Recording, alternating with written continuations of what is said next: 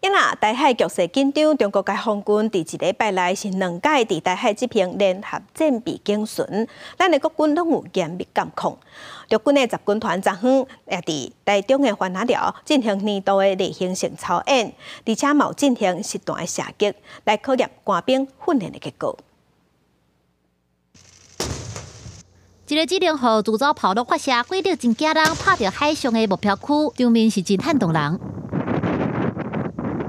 陆军十军团初日透早伫台中华达寮阵地进行每一年拢爱做的操演，实施弹炮保养射击。模拟战时阶段，赶紧机动到阵地。陆军出动 M 一一空 A two 主造炮十二座，M 一空九 A two 主造炮十八座。官兵发挥平常时训练的成果，依照指令装炮轨，调整射击的角度。接到命令了后，十八座主造炮共时间开炮，现场声音是真大声。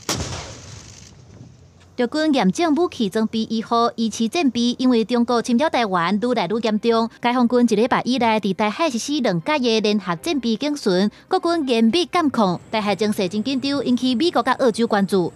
The alliance between Australia and the United States is an anchor to peace and prosperity in the Indo-Pacific, uh, and not just the Indo-Pacific, globally. Uh, deepening cooperation across the pillars of our alliance: security, economic climate, clean energy.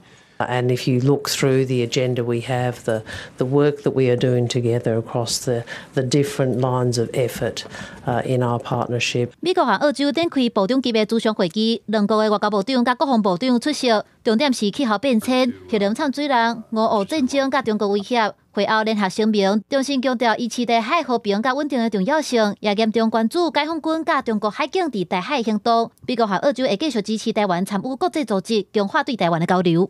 我们可以来设法来扩大跟澳洲的交流啊，不管是我们进行二轨的，呃，比如说像国防安全研究院等等，可可以共同讨论一些安全的议题。当然，可以讨论，并不代表。可以具体的合作，不过至少可以先从具体讨论开始。时机点到的话，也许可以从一些比较不敏感的开始开始做起。针对美国和澳洲共同表达对台湾支持，肯定台湾是重要的东坡。外交部诚心感谢，也继续跟理念是我的国家合作交流。记者综合报道。